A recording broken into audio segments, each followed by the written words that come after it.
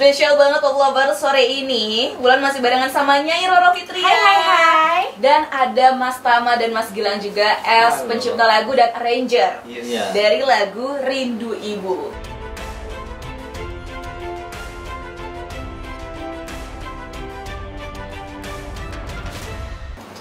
Spesial banget Pop Lover sore ini Bulan masih barengan sama Nyai Roro Fitria Hai hai hai Dan ada Mas Tama dan Mas Gilang juga As Halo. pencipta lagu dan arranger Yes. Iya. dari lagu Rindu Ibu.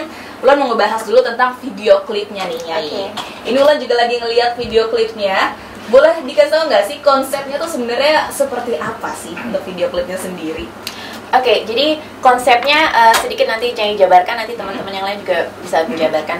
Jadi eh, memang sengaja Nyai mengambil setting lokasi ada deh di rumah pribadi Nyai, di mana terdapat jutaan kenangan indah bersama beliau. Aha. Jadi memang ini karena berdasarkan true story, jadi Nyai juga ingin lokasinya memang the real gitu. Mhm. Jadi eh, di rumah atmosfernya sudah sudah eh, mendukung sekali untuk pembuatan syuting video klip dan untuk eh, teknisnya nanti bisa disampaikan Mas Tama, Mas Ya. Gilang. Hmm, Boleh. Nah, untuk proses uh, syutingnya sendiri itu Iya. berapa lama nih Nyai?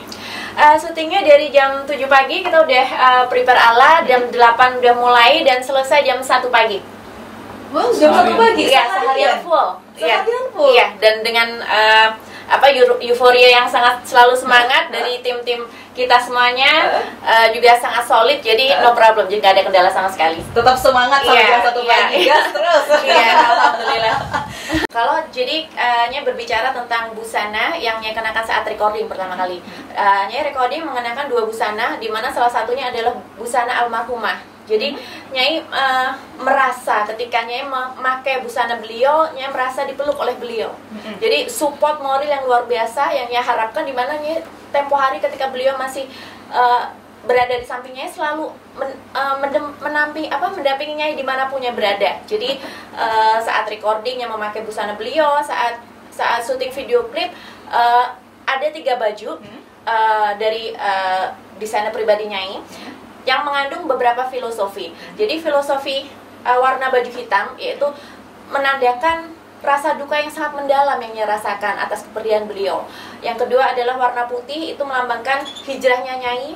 Hijrahnya Nyai juga untuk membuat mamah bahagia di surga. Dan juga eh, baju yang ketiga adalah baju pink eh, sama dengan desainer Mas eh, Rus eh, Rashid Shalim itu melambangkan rasa kerinduan, rasa manja Nyai kepada beliau. Jadi kasih sayang seperti itu. Zed, sampai jam 5 sore masih boleh tunggu juga pertanyaan kamu sekali lagi di 081 511 103 103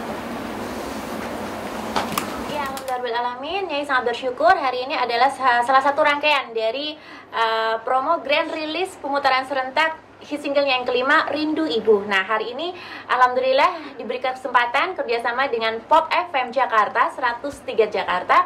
Nah untuk bisa silaturahmi, uh, interview, tanya jawab dan langsung uh, tadi juga ada beberapa pertanyaan dari uh, Nyai. Alhamdulillah sudah dijawab dengan lancar. Uh, grand release-nya sebenarnya pada hari Jumat kemarin tanggal 28 uh, Agustus 2020 dan ini kali pertama untuk rangkaian uh, roadshow uh, tour di berbagai radio karena Nyai alhamdulillah mendapatkan kerjasama 120 radio seluruh Indonesia.